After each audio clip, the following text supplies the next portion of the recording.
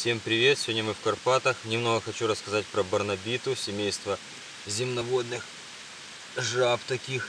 Красная книга Украины, вот такая вот она оранжевая снизу. Вот если приблизить посмотреть, вот такая она яркая. У нас в Украине два вида, есть красная и оранжевая. Красная она по всей Украине, больше по югу. А эта красная книга не только в Карпатах, они в лужах, в прудах, но чаще всего в лужах. Вот такие вот красивые земноводы. Никаких бородавок от них не бывает. Это все легенды. Ну, редкая земноводная, но в Карпатах встретить можно часто. Они любят в лужах. Вот проехала автомобиль, и они в лужах сидят потом.